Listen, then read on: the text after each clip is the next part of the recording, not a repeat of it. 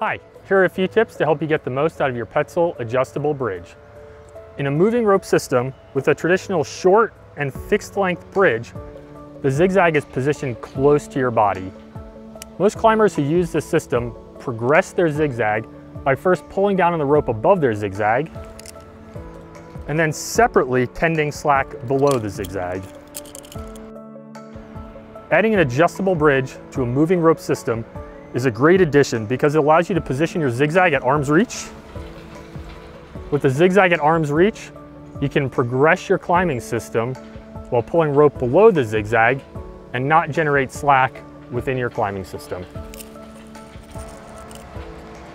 One of the other advantages of positioning your zigzag at arm's reach is it lets you limb walk both out and in while maintaining consistent tension on your system.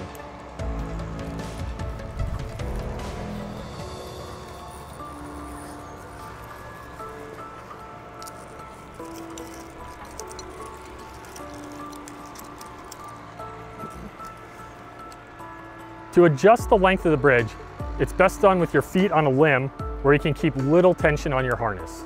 I like to stabilize myself with my left hand while my right hand does the adjusting. To shorten the length of the bridge, simply use your right hand to pull slack through the adjuster.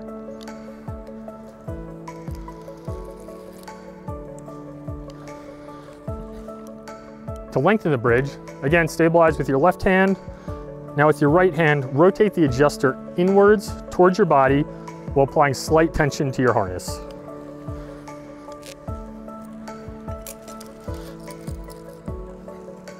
While it's best practice to always keep your zigzag within reach, you might find yourself in situations where you've extended your bridge too far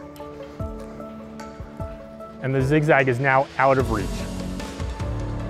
If you find yourself in this situation, with full body weight on your harness, where you can stand on a limb, it can be challenging to decrease the length of your bridge.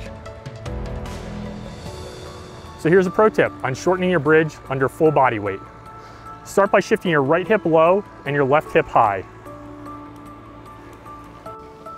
With your left hand, pinch both sides of the bridge together to create friction between the two strands. Now simultaneously, with your right hand, pull up on the tail of the bridge while you shift your right hip upwards. If necessary, you can repeat that step multiple times until the zigzag is back within reach.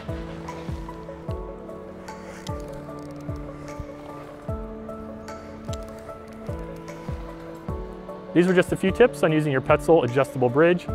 As always, for more information, please visit petzl.com.